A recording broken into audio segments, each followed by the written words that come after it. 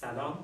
بخش بعدی مجموعه مهارت زندگی ما این هست که در حوزه مهارت زندگی سبک سالم مهارت زیستن ارزش های خودمون رو داشته باشیم. یعنی چی؟ یعنی که بخوایم فقط آنچه که برای ما ارزشمند هست همون رو زندگی کنیم.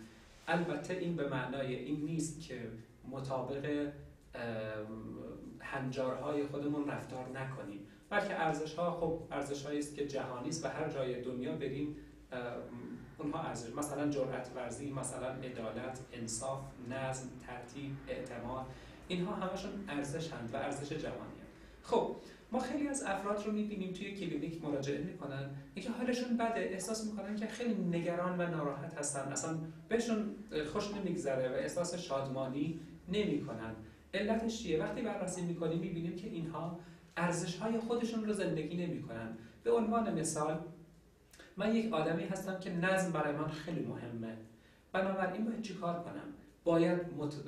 طوری فضای زندگی خودم رو بچینم و افرادی رو که می‌خوام باهاشون مراوده داشته باشم طوری انتخاب کنم که نظم توش مشهود باشه. اگر یک جای بی نظم باشه محیط کارم افرادی که باهاشون مراوده دارم افرادی که بد قول هستن خب بی نظمن با اینها زندگی کنم حال من بده. پس بنابراین نظم یک ارزش زندگی منه و من با وظیفه من اینه که مطابق ارزش خودم زندگی کنم.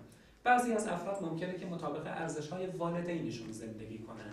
خب والدین همیشه ما رو دعوت می‌کنن به پیروی به اطاعت به اینکه شما کم تجربه هستید. خب اگر که قرار بود همه ما ارزش های والدین رو زندگی کنیم الان باید در قار زندگی می‌کردیم. چون که والدین ما اونجا زندگی می‌کردن به هر گونه تغییری رو ممکن بود که در نتابن. اما فرزندان مطابق ارزش های خودشون زندگی کردن و تونستن این همه پیشرفت این همه تکنولوژی رو به بار بیارن و این همه تمدن ها رو بسازن. پس اگر می‌خوایم که حالمون خوب باشه ارزش های خودمون رو فهرست کنیم و میگن که هر کسی شش ارزش بسیار مهمی تو زندگیش داره. اونا رو هر کی خودش باید شناسایی کنه که من چه چیزهایی رو دوست دارم و چه چیزی حال من رو خوب می‌کنه. البته شرطش اینه که به دیگران آسیب نزنم. یعنی می‌خوام من وقتی می‌خوام که جرأت ورز باشم نباید انقدر کلامم تیز باشه که دیگران آزرده خاطر بشن. جرأت ورزی یک ارزش منه.